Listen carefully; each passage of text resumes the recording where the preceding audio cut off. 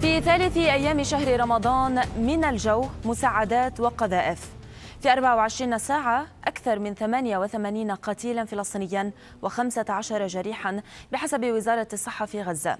ليرتفع بذلك عدد إجمالي القتلى إلى 31272 وأفادت مصادر إعلام محلية فلسطينية بمقتل خمسة فلسطينيين وإصابة آخرين في قصف إسرائيلي استهدف مقرا لتوزيع مساعدات.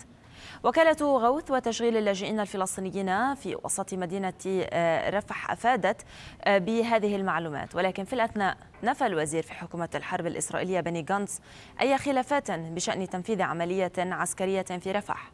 وأقر بالوقت نفسه بأنه لا يمكن تجاهل حقيقة أن هناك تحديات تتعلق بسلوك الحكومة الإسرائيلية. هذا ويعيش أهالي القطاع شحا لا يتوقف بل يتفاقم بالمواد الغذائية والمساعدات الإنسانية. كاميرا الحدث رصدت أوضاع الفلسطينيين في أحد الأسواق في شارع عمر المختار. أتواجد حاليا في شارع عمر مختار هذا الشارع الرئيسي في مدينة غزة والذي كانت تملأه الحركة والحيوية في الأعوام السابقة آه، من شهر رمضان في هذه اللحظات بالتحديد. آه، ولكن حاليا الأوضاع صعبة جدا لا يوجد حركة شرائية لا يوجد بضائع في السوق. آه، سنستمع إلى بعض شهادات السكان هنا وما يعني يلاحظونه من أوضاع خاصة خلال هذه الأيام. إيش ممكن يعني الناس يكون في شيء متوفر عندها؟ ما فيش حاجة ما فيش شيء أجواء الناس كئيبة. الناس رايحة جاية بتعيط ما فيش حاجة تشتريها. عدس ما فيش. علبة فول الناس تعمل دقة فول على أذان المغرب تفطر الناس ما فيش. هذا أجواء هذا موت. هذا شغل انتحار. الناس قاعدة بتموت. الناس قاعدة عن يدي أنا شايف عينه والناس رايحة جاية اليوم بتشوفوا بحملوا فيها رايحة جاية على المعمدان طب إيش؟ أكل وقلة غذاء. ما فيش أكل. فيش خبيزة حميد في السوق آه طراشة زيتون. ما فيش أكل. حياة بهدلة موت. في لحمة في السوق موجودة 2 مليون ونص حق كيلو لحمة الخروف. ما بتطلع فيها بتقدرش تشتريها. مين بيقدر يشتريها؟ في سمك في السوق متواجد على المينا. تطلع الكيلو ب 150 ب 180 شيكل طيب. هذا بكفي مثلا البلد الأصناف اللي دخلت أو البضائع اللي دخلت مثلا كمساعدة. لا الناس عطشانة.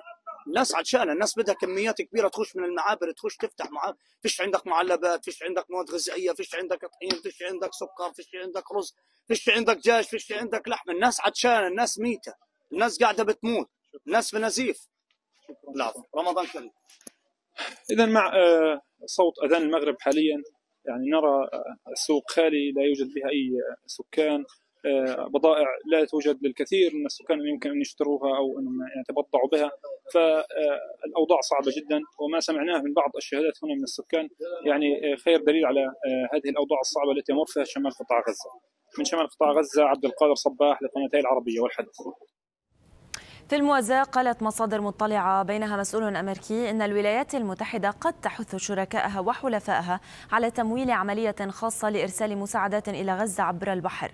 وفي حال توفر التمويل قد تسمح الخطة بإيصال كميات كبيرة من المساعدات في غضون أسابيع. مرجحين أن تكون أسرع من فكرة الأرصفة العائمة للجيش الأمريكي الذي يقول البنتاغون إنه قد يستغرق 60 يوما ليصبح جاهزا للعمل.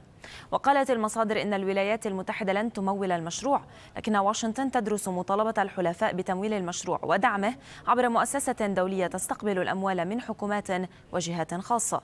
وتعطي الإدارة الأمريكية الأولوية لخطة الجيش لكن المشروع التجاري قد يكمل هذا الجهد بتوفيره الدعم على الشاطئ في غزة لأن إدارة بايدن استبعدت وجود قوات أمريكية على الأرض في غزة حتى عند بناء الرصيف.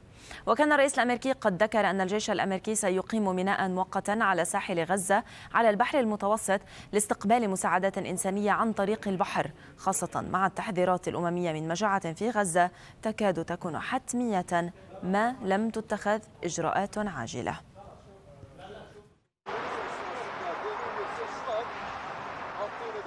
Bakalım saymaya çalışalım. Biraz daha fazla bir e, yardım oldu bu. az önce seferlerde 8 karış açılmıştı. Yaklaşık 20'ye yakın olduğunu ifade edebiliriz. Bu seferde dördüncü sefer deriz Gazze'nin kuzeyine. Tabi bu yardımlar yeterli değil bunu söyleyelim. Çünkü e, Gazze'nin e, güney ve kuzeyine yardımların ulaştırılması gerek. 2 milyon insandan bahsediyoruz. Yerinden edilmiş insanlar var. Filistinliler var. Refah'tan e, giriş yapılmasına müsaade edilmiyor İsrail ordusu.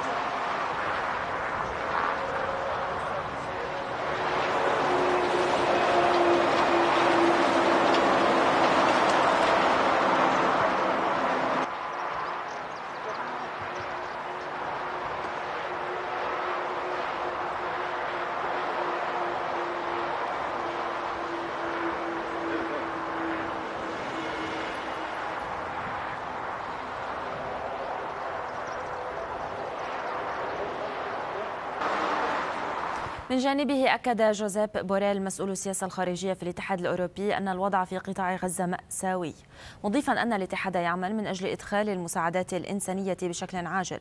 وقال على منصة إكس السكان يكافحون من أجل البقاء هناك حاجة إلى الوصول للم... إلى وصول المساعدات الإنسانية بشكل عاجل الاتحاد الأوروبي يعمل من أجل ذلك وأشار بوريل إلى أن الاتحاد يبحث عن طرق بديلة لتقديم الدعم لغزة لأن المعابر البرية يتم إغلاقها. بفعل فاعل. كما حذر من أن الجوع يستخدم كسلاح في غزة مضيفا أن وكالات الأمم المتحدة مثل الأنروا تعتبر شريان الحياة الأخير للكثيرين.